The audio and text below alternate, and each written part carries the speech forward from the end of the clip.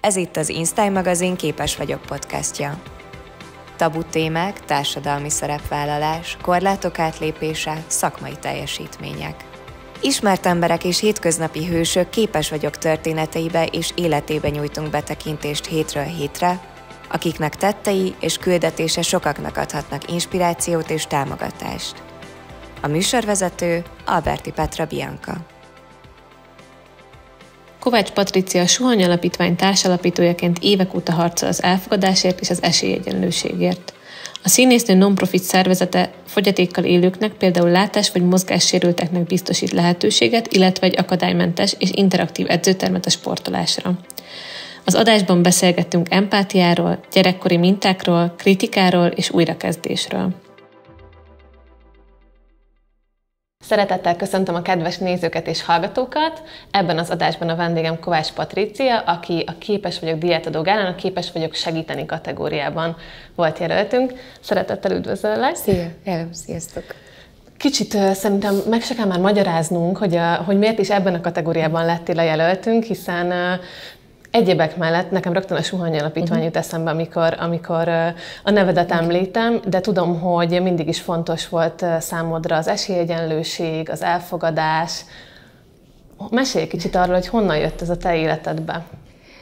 Valahogy én azt gondolom, hogy ez, ez otthonról jön, tehát ez valami neveltetés, ami, ami valahogy mindig az volt az én édesanyámban, hogy, hogy hogy ne, ne, gondoljam túl saját magamat, vagy a jelentőségemet, hanem, hanem egy ilyen nagy egészben gondolkodjak. És, és ez egyfelől gyerekként ebből például nekem volt problémám, hogy az én anyukám miért nem reklámoz, vagy lobbizértem, vagy miért nem nyom, mint, mint más szülőknél láttam. De mindig az volt, hogy emlékszem, hogy mondjuk megdicsértek, hogy én milyen szépen mondok verset, vagy milyen helyes kislány vagyok, és mondta, hogy jó, jó, jó, de hát azért, nem tudom, csálék a fogai, tudod? Tehát mindig volt benne egy, hogy mindig tudjad, hogy így, hogy így hol, hol a helyed, és hogy egy nagy egésznek vagy a része. És attól még, mert én egy ilyen szakmát választottam, vagy ezáltal legjobban, vagy nem értek máshoz, és így alakult ki az életem, hogy, hogy a színészettel foglalkozom, azért alapvetően én például szerintem a saját színházi közegeimben is kifejezetten egy csapatjátékos vagyok, és, és nem egy, nem egy ilyen főszereplő. És végképp nem vagyok főszereplő így a saját életemben se. És, és szerintem ez sok ilyen dolog összekötődik olyan értelemben, hogy, hogy én például őrsvezető voltam, tehát minden olyan, amikor valami közösséget lehet tenni, az egészen kicsi koromtól van. És egy másik dolog, és most ugrok egy kicsit az időbe, hogy én azt gondolom, hogy ha valakinek van bármi ismertsége, bármi lehetőség a médiában megjelenni, akkor annak oda kell állnia olyan ügyek mellé, akik meg nem kapnak fókuszt. És én a volt férjemmel alapítottam a Suhany Alapítványt, és azzal is láttam, hogy igen, úgy tudunk bekerülni egy, egy reggeli műsorba, hogy ha vagy én, vagy valaki egyéb ismert ember, aki egyébként a Suhanyhoz köthető, egy-egy kampány miatt, mi bejutunk egy reggeli műsorba, meg, be, meg, megírnak rólunk. És hogy egyszerűen azt érzem, hogy minél híresebb valaki, annál inkább kutya kötelessége így odaállni. És vannak olyan ügyek, amik nekem nagyon-nagyon fontosak, és nyilván minden, minden, szóval kb. minden nap kapok levelet, hogy adománygyűjtés itt, beteg állatok ott, rákos gyerek, étkeztetés, hajléktalan kérdés, tehát rengeteg baj van, és megkeresnek. De az nagyon fontos volt, évekkel ezelőtt én húztam egy határt, mert én azt gondolom, hogy ha valaki mindig mindenhova odaáll, és mindig mindenért felemeli a szavát, akkor ez egy idő után ilyen kontraproduktív lesz, és nem tesz jót egyik szervezetnek sem. És akkor az én életemben az van, hogy nekem az emberi jogok a legfontosabbak, és én a TASZ-tal működöm együtt meg a Suhannyal. Ugye a Suhany az, az egy ilyen saját alapítványom, és ezen felül a TASZ-nak a munkáját mindig támogatom, és mindenben, amiben szükség van rám, akkor ott vagyok, mert ők annyira felülőlelik az összes emberi jogot, hogy, hogy az ilyen értelemben koncentráltan tud, tudnak ők azzal foglalkozni, amihez nekem azt hiszem a legtöbb közön van. és ezen belül vannak a szivárvány családok, akik, akik mi szintén szerintem egy emberi jogi kérdés. Úgyhogy így, és nagyon sok mindenkinek szeretnék még segíteni, de nem, nem fér bele. Még annyi van, hogy szoktam néha öm, öm, olyan menhelyekkel gyűjtésben részt venni. Nekem is menhelyi kutyám volt, úgyhogy ez még fontos. De azért nagyon fontos az, hogy szerintem mindig öm, kellemetlen, amikor azt látom, hogy valaki olyan ismert ember, hogy tényleg minden minden héten valamiért odáll, vagy valamit reklámoz, és akár ez a reklám kérdéssel is ugyanezt érzem, hogy abban sem szabad szétaprózódni. így. Pont hogy kiemelted, hogy ezért fontos megtalálnunk még a segítés közben is a fókuszt, és szerintem ez azért is nagyon fontos, mert hogyha valaki empatikus, érzékeny, akár társadalmi ügyekre, akár az emberek, akár az állatok hátrányos helyzetére, akkor tényleg hajlamos lehet, meg főleg, hogy kiemelted, hogy te nem vagy főszereplője, úgy érzed a saját Igen. életednek, szerintem az ilyen típusú emberek kicsit hajlamosak lehetnek így felőrlődni ebbe a Igen. sok impulzusba, meg ilyen negatív érzésben, úgymond. És szerintem ez jó dolog, hogy, hogy erre kifejezetten figyelsz, hogy próbálod magad azért úgy tudsz hasznosabb lenni, hogyha erre, erre kifejezetten figyelsz. Igen, ez fontos, hogy azért nagyon, én nagyon fókuszált vagyok, vagy nagyon tudatos egy csomó mindenben, és ezt meg kellett hozni ezeket a döntéseket, de nagyon rossz érzés visszautasítani. Tudod, mert, mert közben azt is látom, hogy, hogy, hogy én pontosan tudom a saját bőr, bőrömön a suhanyban, hogy mennyire nehéz helyzetben vannak az alapítványok, és mennyire sokan vannak, és hogy egyébként mennyire létezik köztük is egy verseny, fura mód. Tehát ez mégis piaci alapon kell, hogy működjenek, mert különben nem tudják saját magukat fenntartani, tehát nyilván van egy verseny, és nagyon sokan vannak, és, és nehéz nemet mondani, csak tényleg valahogy hosszú távon így nekem azt kell gondolnom, hogy nem én leszek nekik a jó. Tehát én mindig azt szoktam mondani, hogy higgyétek el, hogy nem jártok jól velem, mert ha én oda megyek, és azt mondom, hogy most a beteg gyerekekért állok ki, akkor azt fogják az emberek mondani, vagy gondolhatják, hogy ó, hát már annyi mindent mondott, tudod, már, már kiállt egy csomó mindenért, és nem, nem figyelnek, mindenkinek találnia kell olyan embereket, akik hitelesen tudják őket képviselni. És a, én mindig arra buzdítok minden egyes ismert kollégámat, vagy, vagy, vagy ismert embert, hogy nem szabad elvenni csak a, csak a fényt, meg a pénzt, meg a csillogást ebből, amit mi csinálunk, hanem ezt valahogy vissza kell adni, mert szerintem a világ az egyébként így működik, hogy, hogy adok-kapok, és muszáj, muszáj adni, és nem szabad elvesztegetni a, az ismertséget csak, csak saját magunkra. A Zsuhány Alapítványon ugye nem csak mozgáskorlátozott, hanem, hanem akár szellemileg korlátozott emberekkel is foglalkoztak, illetve nem csak az alapítvány, hanem maga van egy edzőterem, ami, ami szerintem egy kuriózum, hogy Igen. akadálymentesített, és, és épek és, és mozgásukban vagy mentálisan korlátozottak tudnak ott együtt edzeni, illetve szerintem tényleg egy, egy egy, egy jó dolog, hogy ha jól tudom, akkor önkénteseket is folyamatosan kerestek, aki mondjuk, mondjuk rendszeresen fut, vagy futóversenyre jár, akkor lehet uh-huh. suhany alapítványosokat kísérni. Igen. És ennek kapcsán lenne egy olyan benne megfogalmazódó kérdés, ami szerintem mindig egy nehéz kérdés, hogy az épp emberek hogyan tudnak minőségileg és jól segíteni a mozgásukban vagy szellemileg korlátozott embereknek. Ez azért is egy fontos kérdéskör szerintem, mert hogy néha pont, amit te is mondtad, hogy jót akar az ember, tudjátok, van az a, az a amikor kifejezetten így látsz valakit, aki mondjuk ö, ö, mondjuk egy, egy vakembert látsz, le, leszáll a metróról, és akkor oda akarsz ugrani, hogy Igen. te majd segítesz. És, és, és egyébként nekem még tínédzser koromban volt, hogy egy, egy látás sérült férfi mondta, hogy köszöni szépen, nagyon jól esik neki, nem kell neki segítség, és hogy szeretné elmondani, hogy ha legközelebb ilyen történik velem, akkor tudjam. Igen. És szerintem azért fontos ez is, hogy, hogy vajon vajon hogyan, tud, hogyan tudunk jól segíteni, meg hogyan tudunk jól viselkedni, mert szerintem két opció van, valaki ez a túl buzgó segítő, uh-huh. és még akkor is segít, amikor az már kicsit zavarja. Igen. azokat, akik, akik, uh-huh. akik valamilyen korláttal küzdenek. A másik véglet pedig ez az elfordulok, nem nézek oda, kerülöm a szitut, uh-huh. és akkor, akkor nem fogok így kellemetlen helyzetbe kerülni. Én mindig azt szoktam mondani, ezt nagyon egyszerűen meg lehet oldani, oda kell menni, és azt kell mondani, hogy segítetek-e valamiben és ő el fogja mondani, hogy szüksége van-e abban, hogy egy zebrán átkíséri látássérültet, vagy, vagy csak éppen csöndben akar lenni, mert, mert hallani akarja, hogy merüljön a forgalom, mert a fülére hagyatkozik, vagy megkérdez valami. Egyszerűen azt kell mondani, hogy segítettek-e valamiben? És, és feltételezhetjük, hogy ő meg fogja mondani, hogy igen, és azt is, hogyha nem az értelmi sérültséggel együtt élőkkel, az egy kicsit nehezebb helyzet. Ez egy nagyon furcsa dolog, mindenkiben van félsz. Nekem van egy tíz éves gyerekem, aki tényleg azóta van, ami tehát a suhany előbb volt már, mint ő ő teljesen ott nőtt fel, és neki is bizony vannak olyan helyzetek, mert ugye mondjuk egy értelmi sérültséggel élő, azért többféle van, melyik spektrumon van, mi a probléma.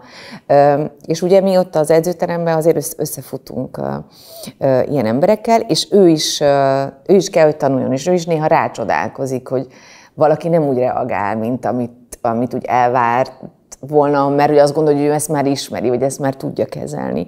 De én meg mindig azt mondom neki is, és minden, minden felnőttnek, hogy csak, csak nyitottnak kell lenni, és nem félni, mert hogyha ott van az a, az a para, hogy jaj, most mi fog történni, vagy, vagy, vagy egy olyan helyzet, amire nem, nem vagy felkészülve, akkor az legátolja azt, hogy, azt, hogy éles legyél. És mi például csináltunk a Zsuhanyba tábort gyerekeknek, ahol, ahol úgy voltak a csoportok, hogy egy csoportban voltak épek, voltak mozgásokban korlátozottak és ért, értelmi problémával rendelkező gyerekek is, és nekik azt az egy hetet együtt kellett letolni. És játékokat, versenyfeladatokat, sportfeladatokat, enni, inni, elmenni, pisilni, tehát mindent együtt kellett egy nagy csapatban csinálni. És hát ez nagyon izgalmas, és az én mindig azt gondolom, hogy amit a suhany is csinál, meg ami nagyon fontos, hogy tényleg attól félünk, amit nem ismerünk. És szerintem éppként megtehetjük azt, hogy ilyen nyitott szemmel és nyitott szívvel fordulunk ezek felé, az emberek felé, és nem, és nem félünk, mert akkor nem fogjuk megismerni. Érted? Ha jól tudom, akkor te is fiatalon már egy olyan környezetben nőttél fel, ahol találkoztál kerekesszékes, mozgássérült, Igen. valamilyen szellemi vagy fizikai korláttal uh-huh. élő fiatalokkal, Igen. és akkor gondolom ezért is van az, hogy számodra ez természetes, de említetted, hogy, hogy a kislányod ő, ő már ebbe született bele, úgymond, de biztos, hogy sokakban felmerül, hogy szülőként hogyan lehet erre az elfogadásra, meg, meg figyelmességre, érzékenyítésre nem erő, erőltetve, de azért nevelni, vagy tanítani. Szerintem az nagyon fontos, nekem nagyon sokat van olyan élményem, amikor mondjuk a, utazunk a villamoson, és azt látom, hogy mondjuk egy egy, egy, egy látássérült ember, vagy egy torz ember felszáll a villamosra, és azt mondja az anyuka gyerekének, a gyerek ugye megnézi, mert ő ilyet még nem látott, mert ugye ők mindent, nekik minden érdekes, és rászól az hogy ne nézz oda, nem nézzünk oda.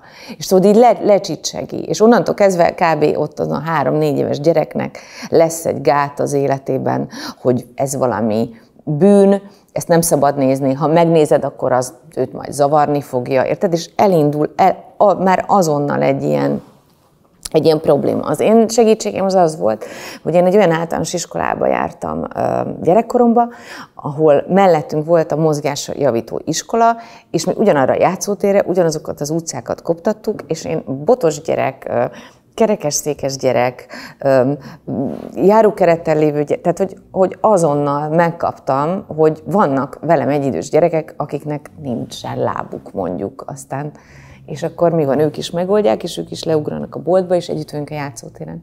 Tehát, hogy valahogy gyerek, hogy a gyerekeket kell elkezdeni edukálni, de hát nyilván az anyukát is, aki lecsicsegi a gyereket, mert az kerek szemmel néz valamire, ami más. De szerintem elfordítani a fejünket, vagy zavarba lenni attól, hogy mi nem tudunk mit kezdeni egy ilyen látványjal, ott kezdődnek a bajok. Említetted, hogy, hogy az édesanyád most, hogy ez neked hogy esett, az is érdekelne, hogy az édesanyád figyelt arra, hogy, hogy két lábban maradja földön, hogyha dicsértek, vagy sikered volt akkor is, de azért Csáli a foga, vagy nem is tudom, hogy ez volt ugye a, a példa. Igen, nagyon, nagyon szép, szép, szép, szép, de azért csáli, csáli a foga. És ez nehéz, rossz volt megélni? Ö, akkor igen. Mert akkor azt éreztem, hogy, hogy miért, miért nem hype vagy miért nem... Nem büszke rám. És mindig még mondta, hogy te, ő azt mondta akkor is, és most is, hogy nem kell, hogy ezt te elhidd, nem kell, hogy arra azt te tudjad. Az, az, majd, az majd kialakul. De, de, de nem leszel egy ilyen kis picsa, vagy érted? Tehát, hogy, hogy ö, ö, engem nagyon mm, ilyen értelemben keményen tartott az anyukám. Nagyon ott volt, és nagyon óvó volt, de az, hogy, az, hogy én ne legyek beképzelt, vagy ne legyek hisztis, az abban ő, abban ő nagyon, nagyon sok munkát beletett, és ez így is lett. És miközben én mondjuk a saját terápiáimban erről beszéltem, vagy nekem ez egy ilyen hiány volt, az például egy nagy felismerés volt, amikor Egyszer egy pszichológusom azt mondta, hogy mindaz a dolog, amiért egyébként te most itt ülsz, és azt érzed, hogy nagyobb szükséged lett volna gyerekként egy ilyen babusgatói ö, édesanyára, aki dicsér, és akinek én vagyok a legszebb és a legjobb. Közben mi most ebben terápiában mondjuk például erről beszélünk, vagy része a terápiánknak ez a probléma, de közben meg felnőttként az összes közösség, az összes párkapcsolatom, az összes barátom ennek a csak az összes pozitívumát kapja. És akkor ez egy nagyon érdekes kérdés, hogy ugye hogyan lettünk ilyenek, amilyenek. Hát nyilván abból, hogy gyerekként értek egyébként sérelmek, csak az én esetemben szerintem ez tök szerencsésen jött ki, hogy egy, egy csomó minden, ami, tehát ha valaki rám gondol, akkor egy csomó mindent ezért szeret engem, amivel nekem azért mondjuk kellett küzdeni, hogy így, hogy mondjuk én nem, én nem voltam egy ilyen állandóan bevattázott ilyen, ilyen, ilyen kislány. Szóval ez, ez érdekes, hogy, hogy, hogy végül is akkor a, a, a mérleg az, az ho, ho, hova billen el, de mind, mindaz, ami, beném például hasznos tudok lenni, vagy, vagy szerethető, vagy, vagy, um, vagy kreatív és szorgalmas, az például mind azért van, mert, mert, mert az anyukám az ennyire, ennyire a földön tartott. Igen.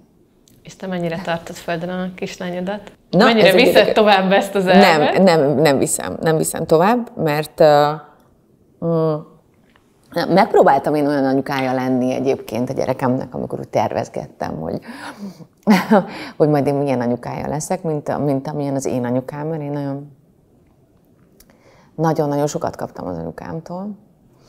De aztán rájöttem, én viszont egy másik személyiség vagyok, és ez, ez azért ez, ebből mindig lesz, mindig ki fog lógni a lóláb, hogyha, hogyha nagyon megpróbálok olyan lenni, de belőlem egyébként nem az jön.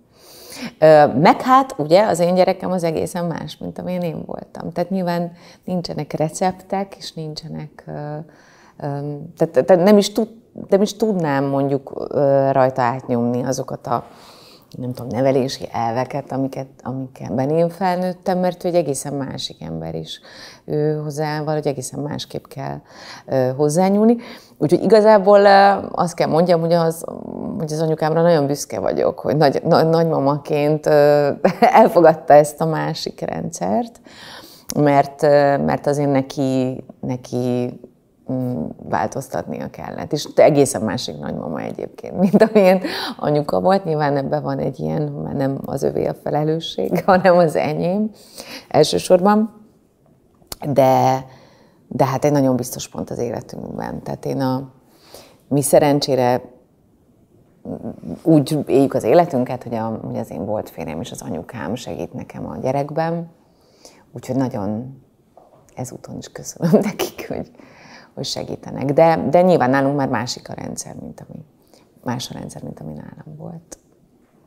Maradjunk még egy kicsit ennél a két lábbal a földön maradt, maradtál mindig Igen. is gondolatnál. Egy korábbi interjúban azt olvastam, hogy úgy érzed, hogy, hogy 40 fölött kicsit jobban kiteljesedtél, ugye a nőiségedben is, meg szakmailag uh-huh. is, és sokkal kevésbé van benned már megfelelési kényszer, meg szorongás, mint mondjuk 20-30-as éveidben volt benned akkor ilyen erős megfelelési kényszer, akár Igen, emiatt, hogy, hogy nem voltál túl dicsérve, ezért úgy Igen. érezted, hogy még többet kell Igen. tenni azért, hogy azt a nagy dicséretet megkapd. Volt, volt benned ilyen jellegű szorongás? Nagyon sok szorongás volt, és mindent akartam csinálni, és a legjobb akartam lenni, és folyamatosan visszaigazolásokra volt szükségem. Megkockáztatom, hogy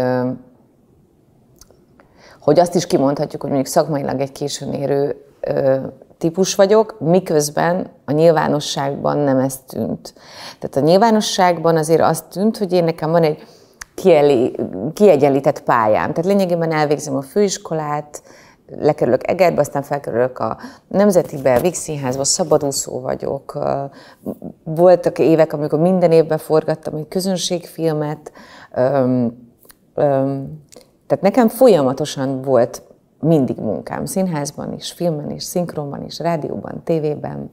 Tehát kívülről úgy tűnt, hogy én nekem nagyon, nagyon sikeres a, mondjuk a, a szakmai látom az első pillanattól kezdve. De közben meg azért mondom, hogy későn érő típus voltam, mert, mert most már látom, hogy, hogy, hogy mondjuk a beírése a, a szín, színészetemnek, annak az, az mennyire nem volt meg még 20 évesen, meg még a 30 éves, még, még 30, az, igen, tehát 30 és 40 között se. Tehát 40-től történt egy csomó olyan dolog bennem magánéletileg, meg a saját személyiségemben, ami, ami valahogy rezonált az én színészetemmel és, és sokkal jobb érzés most színésznőnek lenni, mint egyébként 20 évesen, vagy 32 évesen akár, vagy akár még 36 évesen is. És azt is mondtad korábban, hogy, hogy kicsit meg lehet unni, vagy hogy bele lehet ülni ebbe a nagyon sok szép nő karakterbe, és, és hogy említetted is egy korábbi interjúban, hogy, hogy téged sok ilyen szép nő karakter talált meg, meg végignézve egyébként a szerelemtől sújtva, SOS láv, korhatáros szerelem, vállótársak, mind ilyen szerelem köré Igen. épül, ha csak tényleg megnézzük mondjuk így a bibliográfiában, Igen. vagy, vagy filmográfiában, Igen. hogy milyen munkáid voltak, olyan érdekes, hogy, hogy nagyon így ez, ez a témakör vesz körül, Igen. és szerinted nem lehet ebbe akkora mélységet vinni, ebbe a szép nő karakterbe? Vagy van olyan, amit te itt sokkal szívesebben, mint narratíva ö, szakmailag képviselnél? Nem, hanem az ember fiatal, és akkor még egyszerűen annyi történik vele. Azért a félvilágban például az is egy ilyen szerelem, de nyilván ez egy ilyen negatív karakter volt, ami nekem mondjuk a legfontosabb uh, film, filmem, ott már egy bonyolultabb dolog, hogy a, a szép az mennyire tud gonosz lenni és szociopata, tehát nyilván ott aztán végképp lehetett mit játszani. Tehát én nem azt mondanám, hanem inkább azt gondolom, hogy kicsit nem gondolnak az alkotók olyan, olyan sokat ezekről a nőkről. Vagy, vagy azért én például gyerekkoromban nagyon jó körülmények közé születtem. És fura módon a kirekesztésnek azt a, azt a részét én abszolút megéltem ezzel, hogy azt gondolták rólam mondjuk az iskolai környezetem, hogy neked nem lehet semmilyen problémát, mert tíz barbid van, és nyugati autótok van, és egy kertes házban laksz. Tehát mi lehet neked a bajod? És ez fura módon egyébként, ez is egy kirekesztés. És nekem, csak visszacsatolva, hogy miért fontosak nekem ezek a dolgok. És én nekem akkor például családilag nagyon nagy problémáim voltak, de mindenki így lesöpörte, hogy szép vagy, zöld szemed van, jó, jó anyagi körülmények között élsz, most a mit sírsz? Nem, nincs, nincs jogod szarul érezni magad, nincs jogod uh, problémázni. És kicsit azt érzem, hogy, hogy azért a, mondjuk a filmekben, nagyon sok filmben, amit csináltam, amikor az ember fiatalabb, akkor valahogy nem gondolják azt, hogy, hogy egy fiatal lánynak is vannak kétségei, hogy egyáltalán nem azt a, azt az embert látja maga belülről, mint amit kívülről jelent, hogy, hogy egyáltalán nem olyan könnyű mondjuk egy, egy szép lánynak érvényesülni, akár a lányok között, hogy mennyi, mennyi olyan dolog éri, hogy, hogy lebutázzák, mert hogy szép, vagy nem gondolnak róla sokat, de valahogy ezt én azért azt látom, hogy nem, ez nem, nem, nem, nem erre mennek, vagy nem erre mentek akkor ezek a filmek. Nem ez volt a, Hmm.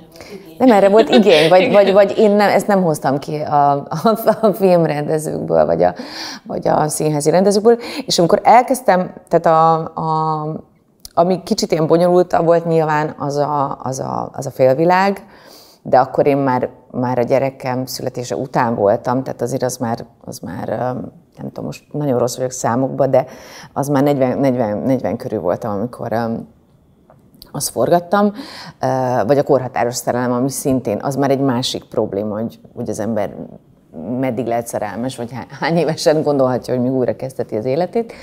De azért a fiatal lányokra többnyire ilyen Szóval egyszerű, amiket, amiket, amiket írnak. És közben színházban nekem voltak kifejezetten jó karakterszerepeim, de, és voltam sokszor csúnya, meg béna, de a filmben ez, ez, nem, ez nem talált meg. Egyébként a műsornak korábbi részeiben több beszélgető partneremmel is előjött ez a téma, hogy, hogy ugyanúgy vannak sztereotípiák, skatujába tételek, meg előítéletek, akkor is, tehát mindkét póluson, nem csak akkor, hogyha, hogyha valakinek ö, ö, valami nem szép, vagy más a uh-huh. külsében, nem pont az, hogyha valaki szép, akkor kap, megkapja skatét, benne csak annyiban, hogy szép, Igen. meg nem lehet benne semmi komplexitás, Igen.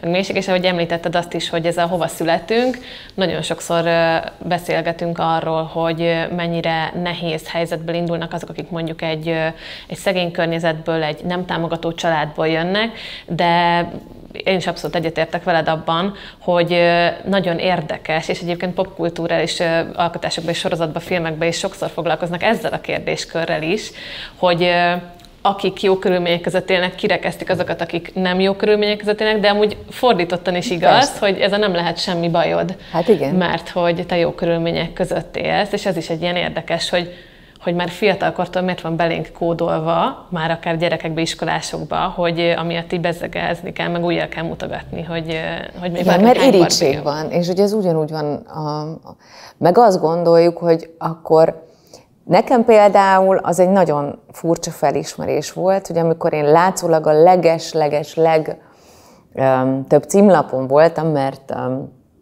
az RTL-ben volt egy zsűri, aminek voltam a zsűri tagja, és közben kijött a félvilág, ami összefesztiválozta a világot, tehát két olyan dolog, ez pont így egyszerre volt, ami nagyon fókuszban, ott voltam a fókuszban, a legboldogtalanabb korszakom, és a leg, leg, legmélyebb mélyrepülések magánéletileg. De ebből semmi nem látszott. És, és ugyanez, hogy mert mert nem bevállalható, meg senki nem is gondolja. Mi, mi baja lehet ennek a nőnek? Miért? Tehát igen, ez mi, mi, mi baja lehet neki? Hát ott van címlap, ezt akarta, nem? És ez a zsűrizés, hogy folyamatosan zsűrizünk, és folyamatosan uh, um, azt gondoljuk, hogy azt, akit látunk a tévében, uh, vagy aki egy ilyen riportban van, azt így ismerjük, azzal én, azzal én nagyon sokat találkozom. És az nagyon, szomorú, vagy nem tudom. Például ezt nagyon sokszor megkapom, hogy miért nem is gondoltam, hogy te ilyen kedves és megközelíthető vagy, mert valahogy, tudod, van ez a zsűrizés. Igen, az is érdekes, hogy muszáj visszakanyarodnom ahhoz a gondolathoz, amit mondtál még a beszélgetésünk elején, hogy, hogy nem úgy érzed, hogy nem vagy főszereplője az életednek, uh-huh. és és egyébként lehetséges, hogy azért is van az, hogy amit mondtál, hogy már fiatalkorottól neki mi baja lehet, mert tök jó élete van, ő szerepeket kap, ő ott van a tévében, ő megkapja a csillogást, és akkor amikor mélyen vagy, hát nem lehetsz mélyen, hát neked semmi bajod nincsen. És nem lehet, hogy ezt egy kicsit te is generálod, vagy azért van olyan, ahol, ahol szívesen mutatnád meg akár ezt a kicsit sebezhetőbb oldaladat, csak mondjuk nincs erre fórum? Nem. Nem, azért nem, mert, mert én azt gondolom, hogy nekem a dolgom az az, hogy a, ezt a színpadon megmutassam. Most például két-három olyan szerepet is játszom, amiben ezt abszolút meg tudom mutatni. Én azért nem mondom el, mert tehát a nyilvánosság felé nyilván azért nem, mert, mert sérülékeny vagyok, és nem akarom azt olvasni. Még a jót se szeretem magamról olvasni, amikor mondjuk úgy írnak, hogy én nem is nyilatkozom. Nincs szükségem pomponlányokra. Tehát az is ugyanúgy zavar, mint az, hogyha mondjuk negatívot is, és végképp nem gondolom azt, hogy, hogy tehát, tehát hogy mondjam, tehát amikor én túl vagyok egy problémán, és az mondjuk edukál embereket, tehát hogy mondjuk én szeretek arról beszélni, hogy én nagyon jól váltam, mi nagyon jól váltunk el a férjemmel, és hogy ez miért fontos, hogyha, hogyha két ember úgy dönt, hogy ez befejezi, de van egy gyerek, akkor miért kell, vagy hogy lehet jól válni. Szerintem ez egy fontos dolog. Erről én szoktam nyilatkozni. De nem akkor beszéltem erről, amikor ez a dolog zajlott, mert az egy érzékeny dolog. Nem is gondoltam, hogy nekem bármilyen módon ventilálnom kéne a nyilvánosság elé éppen, ami történik velünk. De amikor már ez kiderült, hogy ez egy, ez egy jó módszer, ahogy mi ebből kijöttünk, akkor azt gondoltam, hogy hogy ezt talán megéri, vagy az, azzal lehet egyébként jót tenni, hogy ezt elmondod kvázi edukálva ezt, ezt, ezt a problémát. De hogy és a másik dolog, hogy én nagyon zárkózott vagyok a közösségeimben is, amikor mondjuk baj ér, vagy van valami válság az életemben. És nem azért, mert én nem merem elmondani, vagy nem akarom, vagy, vagy nem, jó, nem jó fejek a barátaim, vagy a, vagy, a, vagy a színházi kollégáim. Nem azért nem mondom el, hanem azért, mert nekem az a tapasztalatom, hogy minél több emberrel osztottam meg, amikor bajban vagyok, és nem tudok dönteni, legyen az akár egy szakmai kérdés, vagy egy magánéleti kérdés, vagy egy gyerekkérdés, akkor mindig az van, hogy a legjobb szándékkal öm, velem szembeülő embernek már a kérdés feltevésében is benne van ő. És abban a pillanatban ő feltesz egy kérdést, és én elkezdek másik irányba gondolkodni, és nekem az a tapasztalatom, hogy minden egyes olyan döntésem az életemben, amit én hoztam meg, és nem osztottam meg senkivel, azokért tudom vállalni a felelősséget. És minden olyan dolog, amit egy kicsit átbeszéltem, vagy kicsit tereltek, vagy a legjobb szándékkal ül velem szemben egy barátom, és tanácsol, mert neki ilyen tapasztalata van, mert ő úgy hallotta, mert ő jót akar nekem. És mindig megzavart. És amikor meg én ezeket így belül így elintézem, akkor, akkor sokkal jobban tudok figyelni magamra. És én utána egyébként elmondom, hogy egyébként mm, most azért tűntem el, vagy, vagy most azért zárkóztam be, mert ez is ez történt. Mm, de a döntéseimben mm, csak, csak, csak saját magam döntök. Ez nagyon tetszik nekem, hogy sokan vannak úgy, hogy tényleg, hogyha, amit te is mondtál, hogy bizonytalanok, és akkor kérnek tanácsot innen, Igen. kérnek impulzust onnan, és akkor születik abból végül egy olyan megértés, vagy egy olyan megtapasztalás, amit, amit aztán maguk kivetesznek.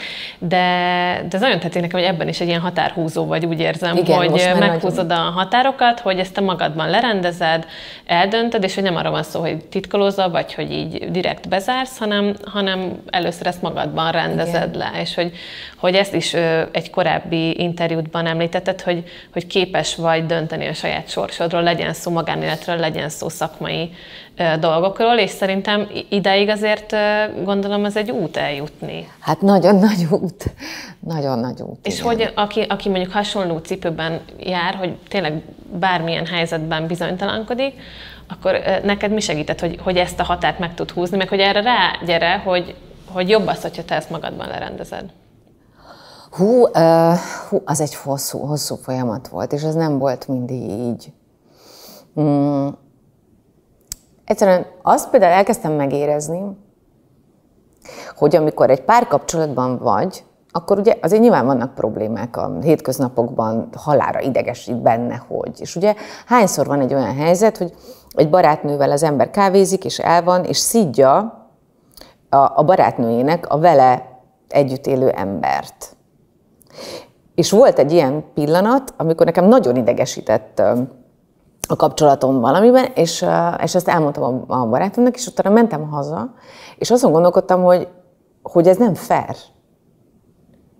Hogy én együtt élek valakivel, és vele kéne lojális legyek.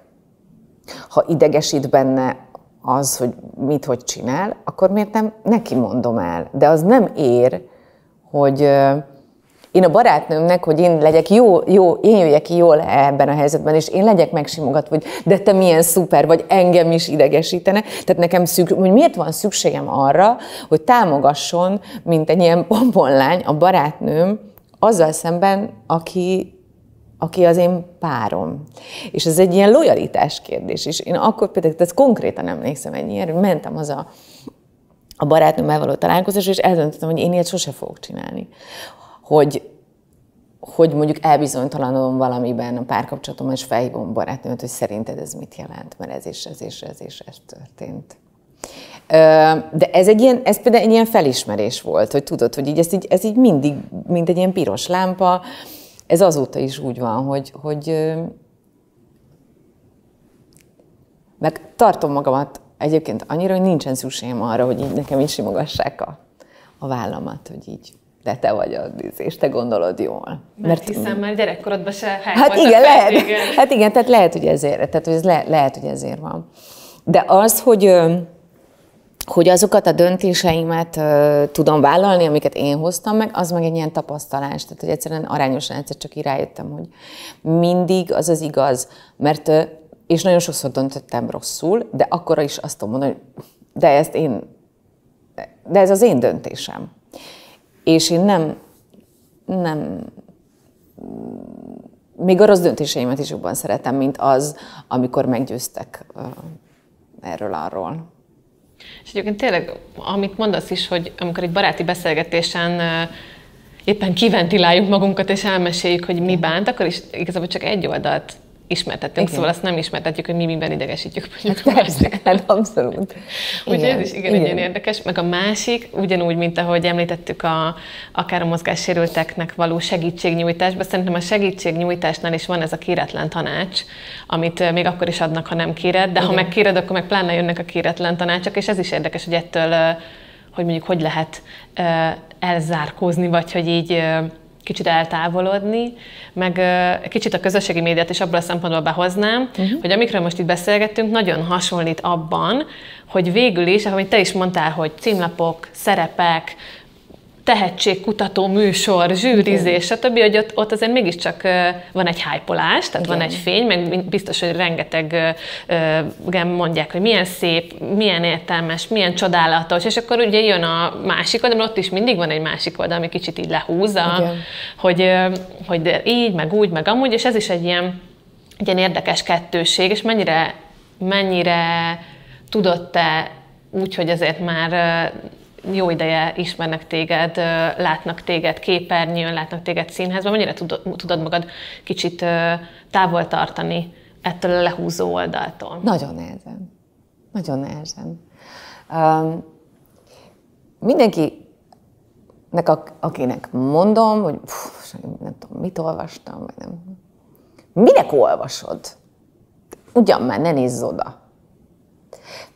És én is ezt megpróbáltam.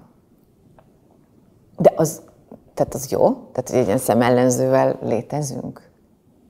És azért ugye alapvetően az, azért lettem színész, mint hogy mindenki azért lehet, hogy így tapsoljanak, és így szeressenek.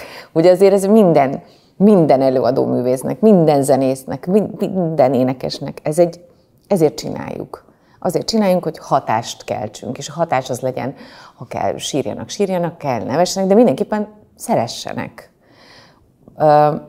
És egy ilyen helyzetben tényleg száz pozitív kommentet is teljesen tönkre tud tenni egy rossz, és van egy-két olyan ember, aki teljesen függetleníteni tudja ettől magát, ez nekem nem mindig sikerül, és nagyon sokat kell azon dolgozzak, hogy, hogy ne szökjön be a, a mindennapjaimba, hogy azt gondoljam, hogy mindenki ezt gondolja. Mert ott rögtön azt gondolod, hogy egyébként meg biztos mindenki, ezt, mindenki így utál, és mindenkit ír. Én is, én nagyon sok embert irritálok. Nagyon sokan azt gondolják, hogy csúnya vagyok, hogy szörnyű a hangom, hogy megőrülnek tőlem, hogy miért kell már megint ez, hogy bi- semmi nem igaz. Tehát, hogy tudod, tehát, hogy mind, tehát tényleg azért sokan vannak, mert mindenkiben van valami megosztó, aki ugye elől van, vagy arról lehet így bármit mondani, de nagyon fájni szokott.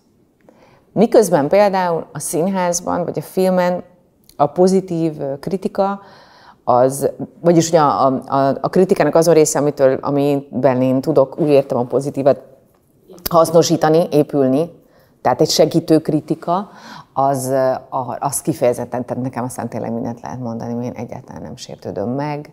Kifejezetten szeretem, hogyha így um, keményen vagyok tartva, nagyon szeretem, amikor nem ájul el tőlem egy rendező, hanem minél inkább azt akarja, hogy jobb legyek. Tehát én, engem, én egy terhelhető ember, egy ilyen versenylő típus vagyok, akit abszolút és ez rossz, hogy ütni lehet, de kifejezetten jót hoz ki belőlem, hogyha, hogyha ha őszinték és kiméletlenek velem, akár, ha kell. Az, az igazságtalan részrehajló kritizálás, az, az nagyon szokott fájni. Igen. Azon nem, nem, nem is tudok egyébként mit kezdeni. Én is úgy vagyok vele egyébként, annyit beszélgetünk, meg olvasunk, meg, meg próbálom kinspirálódni arról a, arról a témáról, hogy ne foglalkozz vele, mit gondolnak mások, meg, meg kit érdekel, meg ettől el kell távolni. Hát nehéz. nehéz. De, de hogy nyilván tényleg abban is volt igazság, hogy ez mit fog gondolni a falu, hát semmit Persze. nem fog gondolni a falu, de, de azért mégiscsak van a falunak egy része, aki meg mégiscsak rákcsál valami témát. És azt is olvastam egy korábbi interjútban, hogy, hogy neked az is egy nagy előrelépés volt, hogy mind szakmailag, mind, mind a magánéletedben, hogy meghúztad a határt abban is, hogy azok az emberek, akik téged nem építenek, ők ne legyenek már benne az életedben. Igen. És ilyenkor, hogyha valaki Szerintem ez, erről azért fontos szerintem beszélni, mert hogy, hogy az is tud segíteni annak, aki, aki még nem veszi észre, hogy őt ilyen emberek veszik uh-huh. körül. Mik, mik lehetnek így a red flagek, intőjelek? Hú, ez nehéz, és olyan nehéz tanácsot adni, vagy csak a saját, saját magamról tudok beszélni, hogy minden olyan helyzetben most már nekem nagyon jó a belső csengőm, amikor azt érzem, akár legyen az egy szakmai társaság, kapcsolat, vagy magánéleti, hogy manipulálva vagyok. Abban a pillanatban ez nyilván én, én is jártam terápiába, és remélem mindenki jár, vagy mindenkinek kéne járnia. Tehát nagyon, nagyon sok mindenen vagyok túl, és most már abszolút tudom, hogy mi az, amikor, amikor triggerel valami, hogy na most jön egy ilyen manipuláció, és az legyen tényleg akár szakmai, akár magánéleti, és azonnal jön a, a vörös fény, hogy innen, innen, innen el kell menni. Le kell tenni a telefont, befejezni az e-mailezést, tudod, tehát, tehát az, az, az kell mondjam, hogy nagyon kitapasztaltam, és nyilván ez, ez azért volt, mert nagyon sok ilyen helyzetben voltam, de felvérteztem magamat, és igyekszem minden ilyen lehúzó és manipuláló embert elkerülni. Nagyon kedvesen. Tehát ez is egy ilyen másik dolog, hogy, hogy az életemben például tudok a, mondjuk a közvetlen színházi környezetemben olyan embert, akinek nem gondolom már, hogy a szemébe kéne mondjam, mert annak semmi értelme nem lesz, és csak tovább gördődik, hanem nagyon tisztesen elkerülöm tisztes távolságból. Nem kell nekem az a, az a, az a nyerés, az a meccsnyerés, hogy én mondjuk kiálltam magamért, hanem én az állok ki magamért, hogy így elhúzódom. És mint egy ilyen filtert így kidobok. És közben működünk együtt, és csak, csak, csak vigyázok, így vigyázok magamra. És hogyha mondtad, hogy jársz terápiára, amit egyébként én is mindig hangoztatok, és szerintem nagyon fontos, hogy, hogy magunkra is figyeljünk, meg kérjünk segítséget, hogyha segítségre szorulunk bármilyen okay. szempontból is. Te mennyire figyelsz arra tudatosan, hogy nem manipulálj, mondjuk ne adj kéretlen tanácsot, ne befolyásolj, igen. ami egyébként neked, mint individuumnak szükséged van Igen. rá, hogy ezek a hatások téged ne érjenek. Igyekszem nagyon. Igyekszem nagyon, és az is egy ilyen nagyon nagy felismerés volt, hogy, hogy sokszor azért a manipulálás, hogy mi minden is tud egyébként manipulálás lenni. Tehát, hogy mondjuk egy...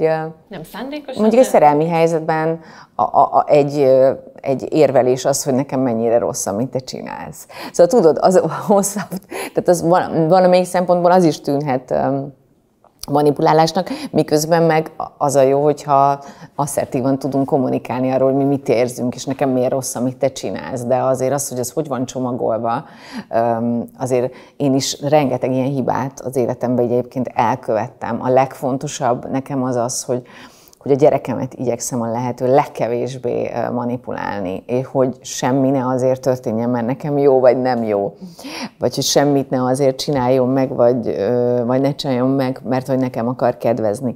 Tehát azért ez, ez, ez minden nap, hogyha erre így. És én amikor azt mondom, hogy, hogy tudatos vagyok, akkor, akkor ezt nem úgy kell elképzelni, hogy én nevétenék minden nap valami hibát, ilyen szempontból akár, hanem hogy, hanem hogy én tudom, hogy, hogy erre figyelnem kell minden nap. Hogy a lehető legkevesebbet. De valahogy mindig ezt gondolom, hogy, hogy nagyon hiszek magamban, meg az emberben. Ma például volt egy vitám a gyerekemmel, aki, akiben lehet, hogy most bujkál egy betegség. És nagyon-nagyon nehezen indultunk el az iskolába. Mert ezért ez még egy ilyen bujkálálós betegség, és iszonyatosan elengedte magát abban, hogy ő neki most rossz.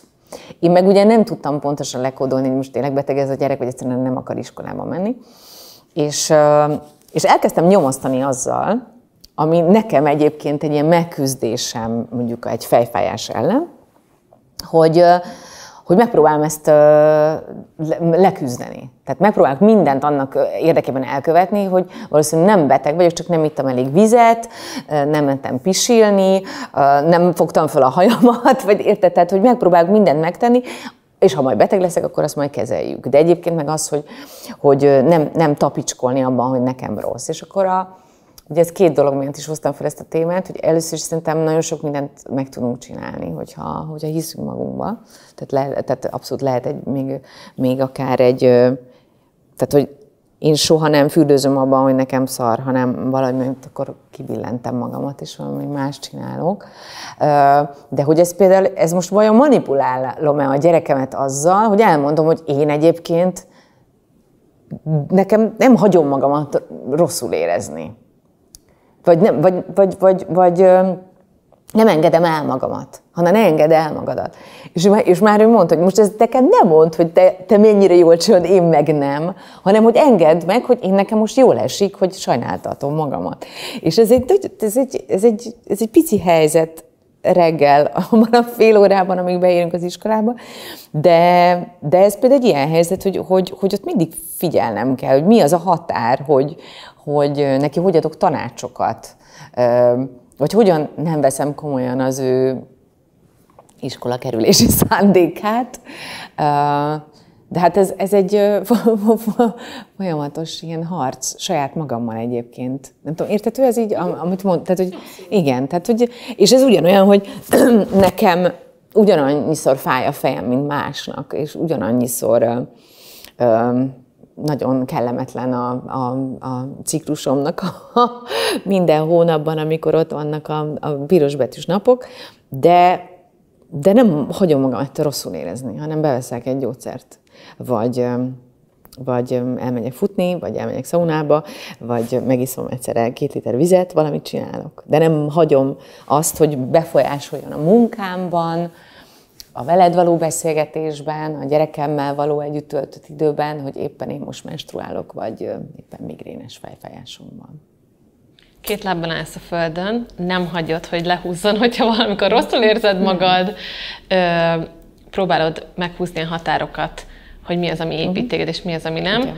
és tudsz dönteni a saját sorsodról, és most már csak így a beszélgetésünk végére annyi kérdésem lenne, hogy, hogy bár azt gondolom, hogy óhatatlan egy édesanyának a főszereplő az életében a gyereke lesz, igen, amint megszületik, de, de hogy látod így kicsit előre tekintve a jövőbe, hogy Kovács Patricia mikor lesz Kovács Patricia filmjének a főszereplője?